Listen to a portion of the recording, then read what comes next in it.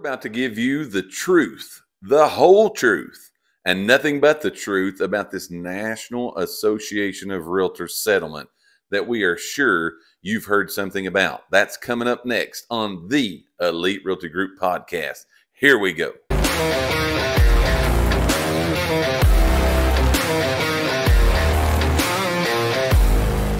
Hello, once again, ladies and gentlemen, and welcome to the Elite Realty Group podcast, where we're bringing you the most up to date, relevant real estate information you're going to find anywhere on the planet. You're going to get it right here.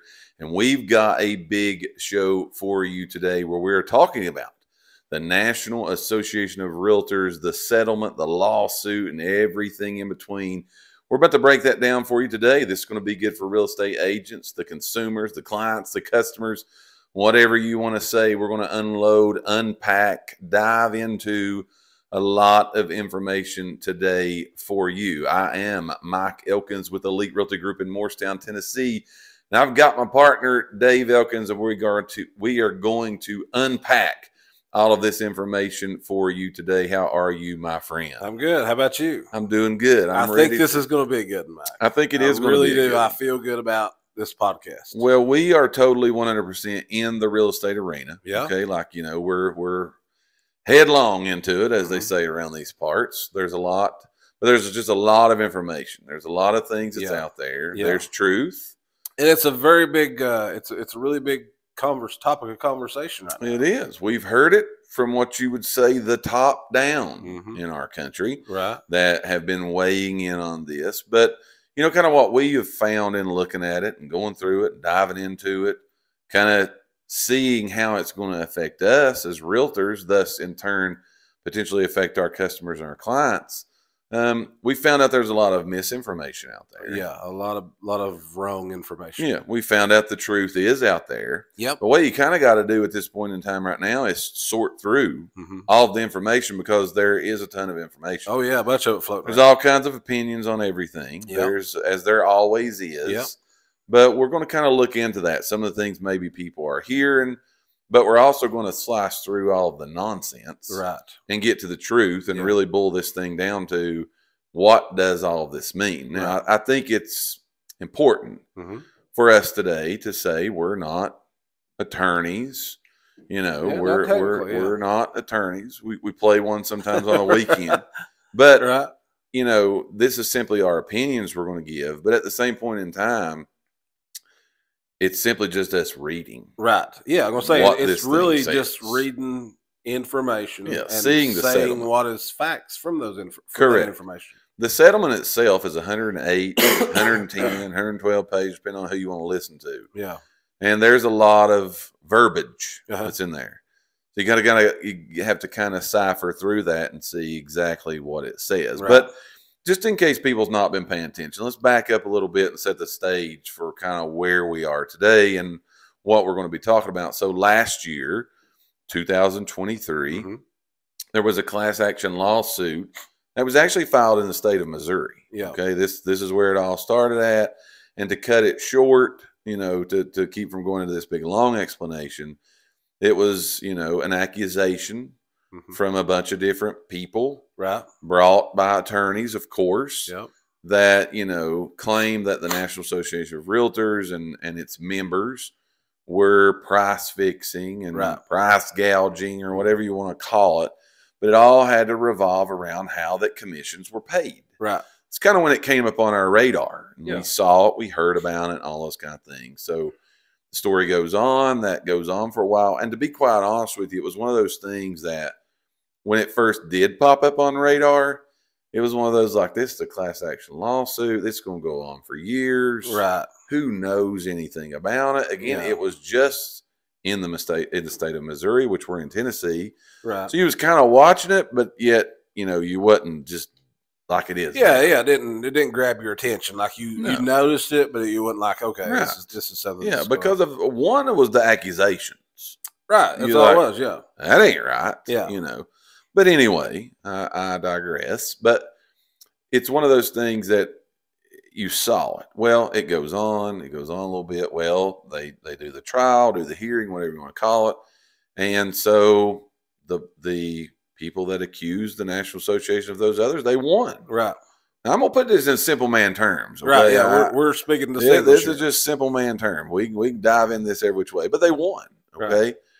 So with that verdict coming down, you then saw, which is leading to what is affecting everybody today, a bunch of copycat the copycatters. lawsuits began Yeah. happening, and then it literally went from Missouri to okay, we've just bomb blew up, we went everywhere. I hope Yeah. I can say a bomb blew up, but we went everywhere. Right. Okay.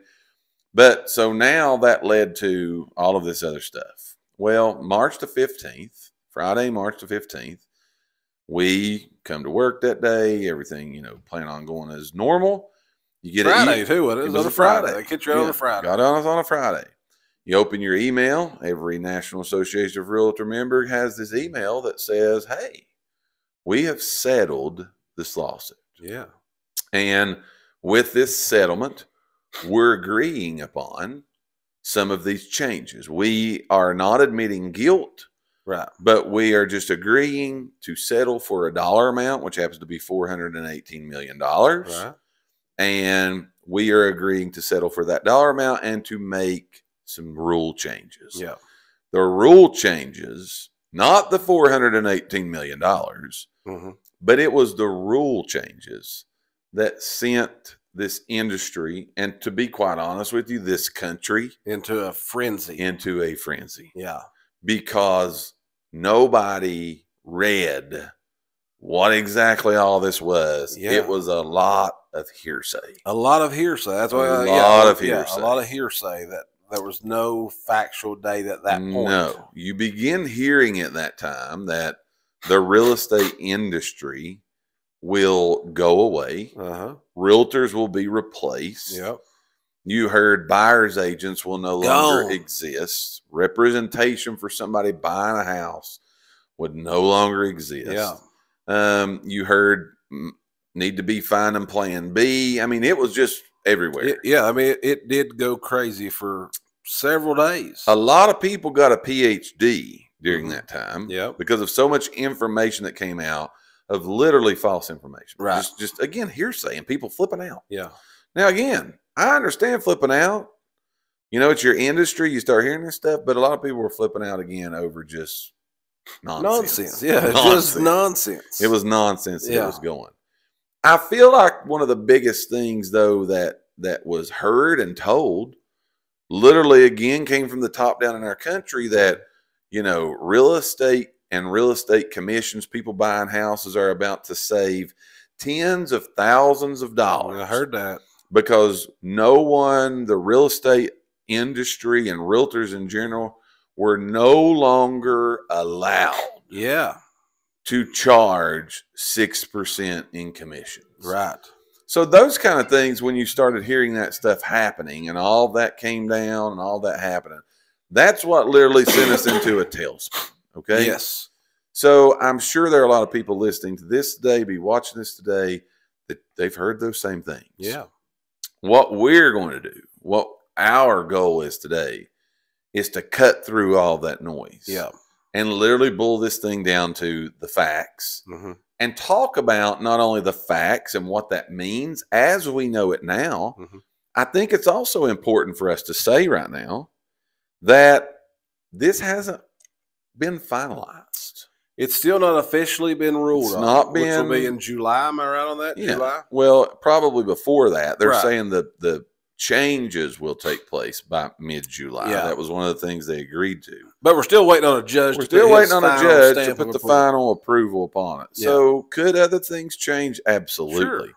We're talking to you today on April the 5th. Yeah. This is what we know. This is the, again getting to cutting through all of the the the jargon, Mhm. the the wording. Hearsay. I called it word salad Uh-huh. that we've all heard and get to the facts, which there's two main ones that we're going to dive into Mhm. today and literally tell you how it stands, what it means for us now, but what does it look like going forward? Right. Okay. I'm trying to calm the nerves Yeah. Let's just of a whole lot of people Everybody today. just chill out for Yeah. a minute. We got some And information. again, here. I'm sure we'll take we'll take dings on oh, this. Oh, absolutely, Not yeah. everybody's going to agree. and that's okay. That's totally fine. That's okay. You do you, man. We'll do us. There's still what ifs that are out there. Yeah. There's still changes that I think we will see come. Yep. But we're going to talk to you about what we know today. Yeah. So in that March the 15th ruling or or agreed upon that we would change these rules and they would pay the 418 million dollars there were two big things that stuck out in that ruling that really it all boils down to these two things Mhm. okay the first thing that the National Association of Realtors agreed to change was that cooperative compensation Okay. now let's stop right there Yeah. Go say. Let's just break it down for a minute. explain to the listener, to the person watching, what is cooperative compensation? so that's basically just that the listing agent Mhm. will split commission. In cases, Yeah. With another agent, right, a buyer's agent. right. So at this time, hmm as we are sitting here, you go to list a home as a realtor. Okay, you talk about okay, what what are you going to pay me to list and sell your home? Right. The home's listed. There is a commission that's agreed upon. That's a total A total amount. Yeah. Okay. Those amounts are all over the board. Oh yeah. To be honest, Absolutely. Yeah. let me say this: it is 100% negotiable. Always has okay? been. Always has been. Okay. Yeah. That was another of the things that was implied was commissions were fixed. Right. That's false. that is false information. is false. Yeah. Commissions have never been fixed. It's in our code of ethics. It's in everything. We we don't even we can't even talk about it in groups of people. Right. Okay. Right. We're in the same brokerage. We can talk about those things. Right. We can't talk about that in our marketplace because that could be an accusation of price fixing. Right. Not done. Right. Okay. So there's a total commission. With that total commission, there usually is what you said where the cooperative comes in. If another agent would potentially bring a buyer to buy this house, we will first cooperate with them to do that. Right. They represent the buyer, we will represent the seller who we're talking about. And that commission, most of the time, was split 50 50. Yeah. So since 6% is the big topic, let's go even deeper and give the example. We list for a total of 6%. I'm going to keep 3% for selling and marketing your property. I'm going to give 3% to a buyer's agent. Right. Okay. Yeah. The ruling was that the cooperative compensation amount that was being offered by a seller to a potential buyer's agent Mhm. here's the ruling would now no longer be listed on the MLS. What's the MLS? The multiple listing service Right. in which all listings from realtors are placed into. Right. That was the rule change that was agreed upon. We will now no longer put the cooperative compensation amount in the MLS. Ladies and gentlemen, that's it. Okay. Now I think there's a really good topic to bring up here. Go with it. Nowhere in there did I hear you say that there will no longer be Correct. a cooperative compensation. Correct. Correct. It will not be listed. In the MLS. In on the, M- MLS. yeah. What do you, want to so call it? That's that's That was rule number one change. okay. I just want okay. make sure I heard that right. But let's talk about that. That's a point of, to- of co- topic that you, you need to listen to the whole story, everybody. right. That is the rule. That's what Mm-hmm. they agreed upon. There's never, okay, at this point in time, said you had to do 6%. No. We use that as an example right then. There's never been, you got to give three and three. Never. All has. of that stuff has always been negotiable. Right. Okay. It's always been Right. negotiable. Yeah, because there's people right now who's listening to the podcast who they've they've been that they they Sure. some people don't split evenly. no. And that's totally that's No. that's but again that goes back to everything sure. is negotiable. That's right. Always has been. Sure. So so there's no change there. Okay. not a change that I've it's a change that that percentage flat fee amount will not be posted on the multiple listing service- service for another real estate agent to see. right. Okay, that's the change. Right. We still feel, I think most people still feel, and I think buyers that are out there today buying houses, they want representation. Uh, yeah. Okay. They want somebody that's helping them and leading them and kind of in their corner, my my words Right. in their corner, making sure everything is going the way it needs to go for them. It's their representation. Right. The second thing, I said that to lead to the second thing. The second thing that they agreed upon in these rule changes was was that now any realtor prior to any kind of services, showing houses, doing anything as a in a real estate capacity a realtor would do, we will now have in place prior to those services a representation agreement, which in Tennessee we call that a buyer's representation agreement, hmm that spells out what our duties will be, Right. what we will do, what the client will do, but also on that sheet, which in Tennessee is this way right now. Right. Yeah. We can't speak for everywhere else, but in Tennessee, But in Tennessee, it's this now. way right now, would be any amount of compensation Mhm. that the buyer is agreeing to pay the buyer's agent. It's on there right now. It's on there right now. But we were we are agreeing in the rule change. We will have that prior to any services Right. that are done. That way everybody knows. Right. It's all out in the clear. Everybody knows these things. This is how I get paid as a buyer's agent. Right. This is where you're agreeing to pay me or see that I get a certain amount. hmm That's what it is. Yeah. It's those two rule changes. Yep. Now it was from those two items Yeah. that the chaos ensued That people have lost their minds. that it went crazy on that. Yeah. Okay. When I taught this the other day and had conversation with our own agents about it, here's how I classified and summed all of this up. I come every day to work the same route. Yeah. I get in my car because to me, that's the best route to go. Yeah. Ever since I've lived in my home in the location that I live now and come to the office where we are right now, to me, that's been the best route. Right. I know that route. Mhm. I know where the stoplights are. I know where I got to watch for school zones. I know where the potholes are. Right. I know where someone could be running out. I know where a cow could be in the road. That's true. I know it great. Okay. I'm comfortable with it. Yeah. I take it every day. However, there are other routes Mhm. for me to get to the same place. Going to the same destination. I'm going to the same destination, but there's different routes. Right. Okay. The other route I'm not real familiar with. yeah. Okay. But it gets me to the same place. Mhm. Could But take you a if couple I drive that route enough, I will be familiar with it. It will be the new route. Right. Ladies and gentlemen, I submit to all of you today to sum it all up. We're going to the same destination. hmm We're going to take a different route to get there. It's That easy. Okay. We're just going to take a different route. It's Yeah. not going to be normal at first because it's a new route. Right. But once we drive that route, it's going to become the new route. Right. Okay. So we're going to the same place. We're just going to take another route to get there. Same place, different route. Yes. Okay. So what does all of that mean? Okay. It simply means no more compensation is going to be offered to a realtor in the MLS.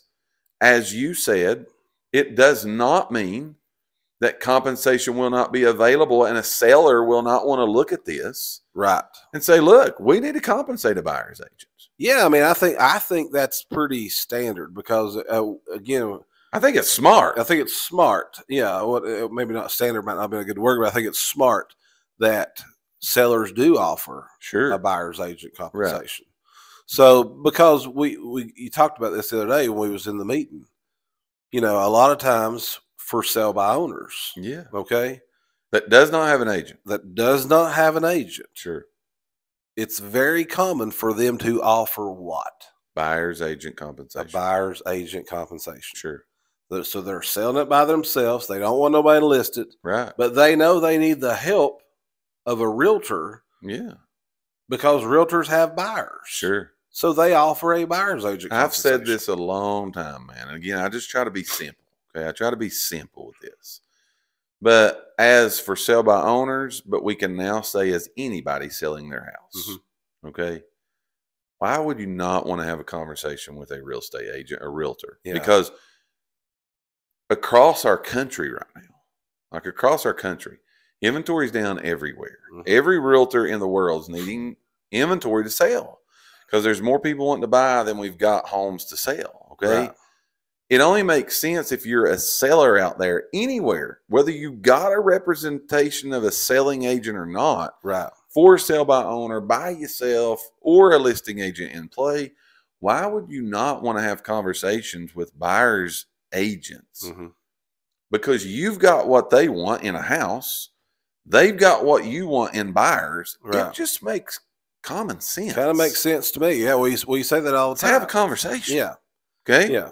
Let's have a conversation. hmm Work the compensation out. It's negotiable. It's always negotiable. it's negotiable. Yeah. Work all of that out in the conversation. Right.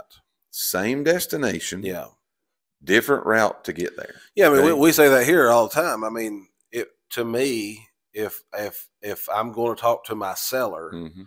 we had this conversation this morning. There's 500 and some odd agents in our local board. Mhm. I mean, they know those 500 people, other agents, they have people right now who are looking for a house. Absolutely.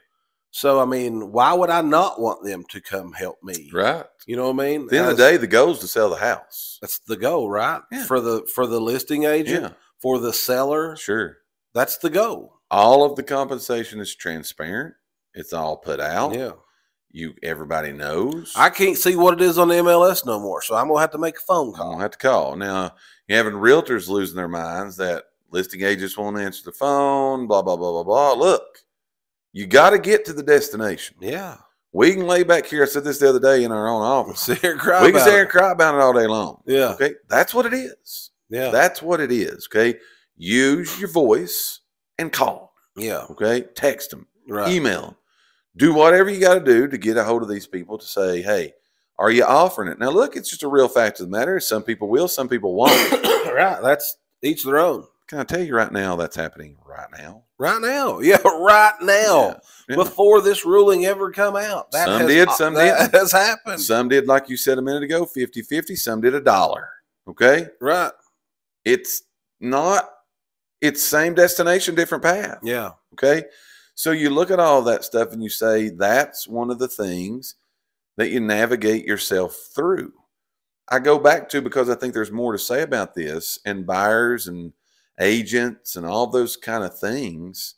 Um, the period of time that we just came through, you know, in real estate, post, you know, when COVID started and all that, that the frenzy of home buying that took place. Yeah. Could you imagine sellers navigating that mess Yeah.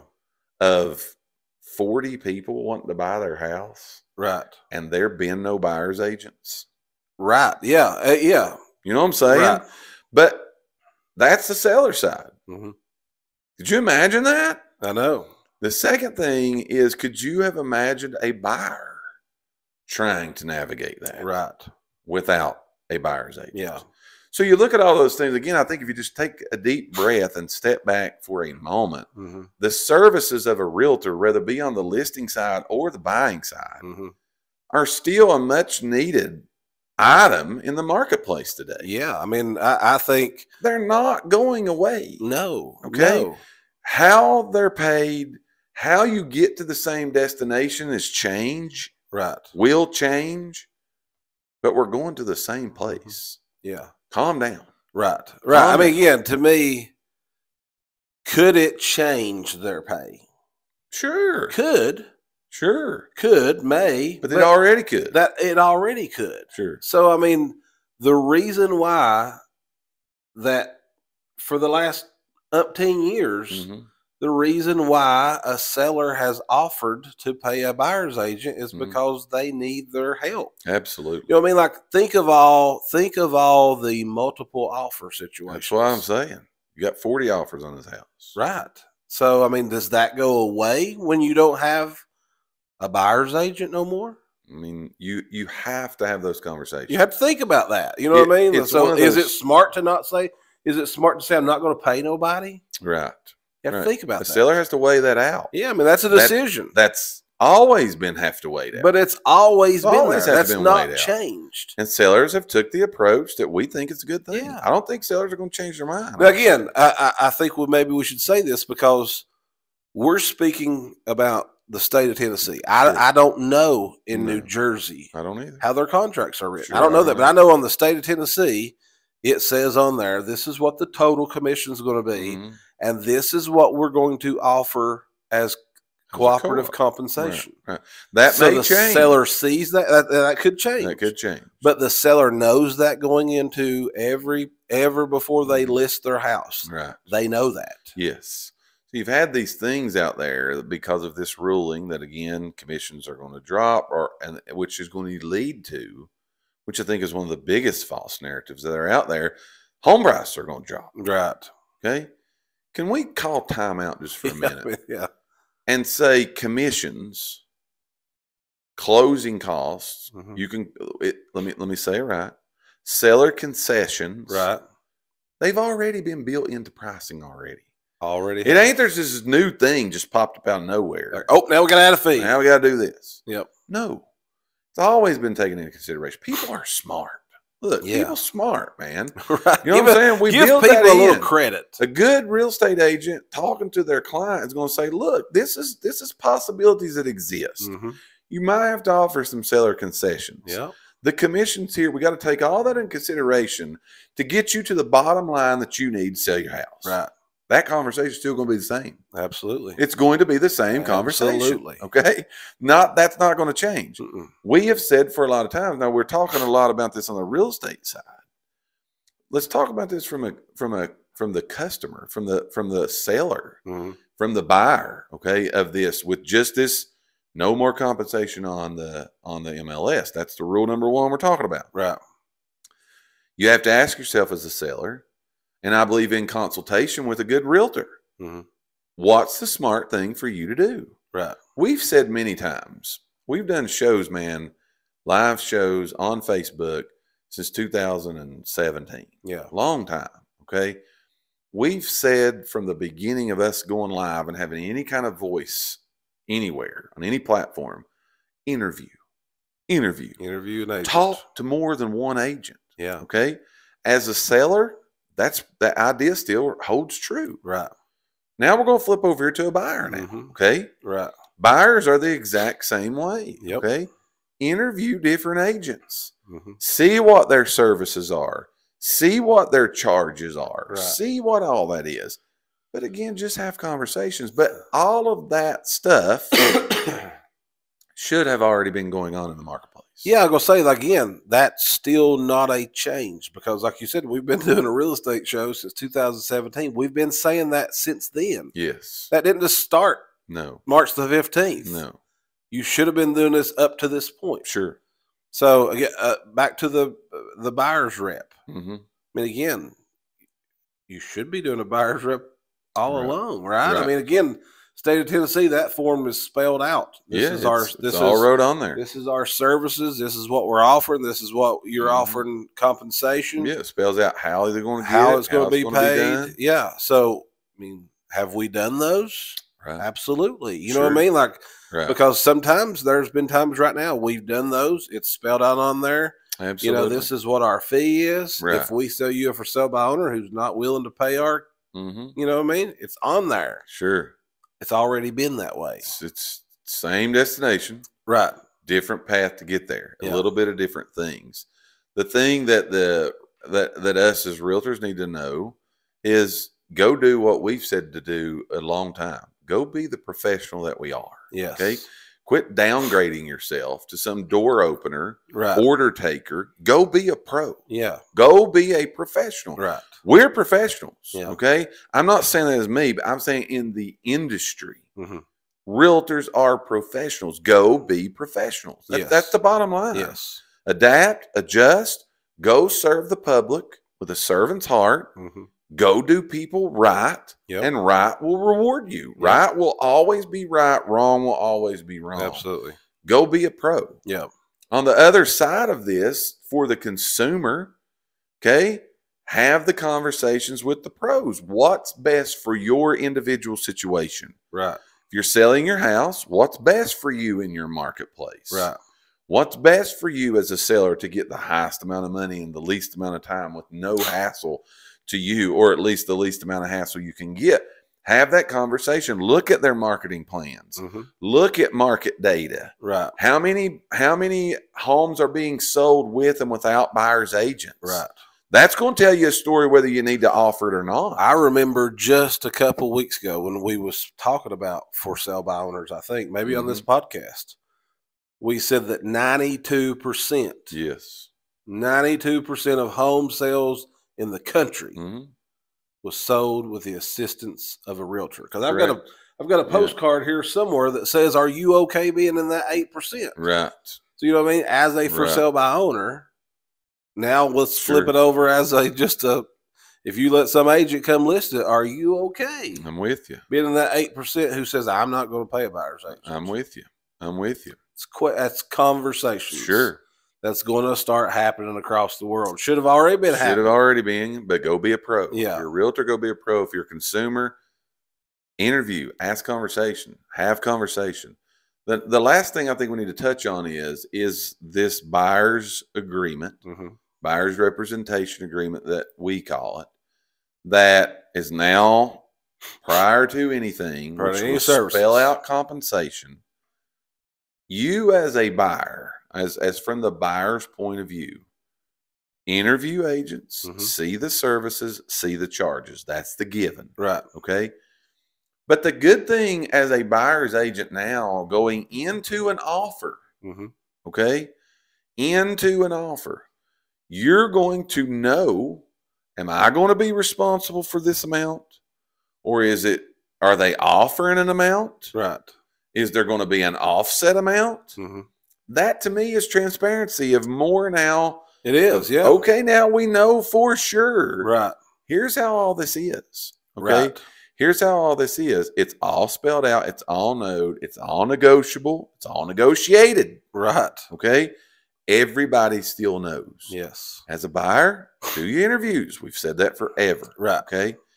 Now, to, to end the whole thing, I think we need to touch on this. Okay. There are three ways that the National Association of Realtors have told us at this point that that buyer's agent commission can be paid. Right. The first way is from the buyer, Yeah. whatever's on the sheet. Right. Okay. The second way is from the seller. The seller can pay it. Okay. sounds sounds familiar. The third way is both of them can pay it, Sounds familiar. which is what happens now. yeah, I mean, Okay. everything you said is happening right now. Right. Right. That's what they've told us. Yeah. Okay. Which is how it is now. It's just not on the MLS It's no not on more. MLS no more. and to a buyer, you know what it is up front.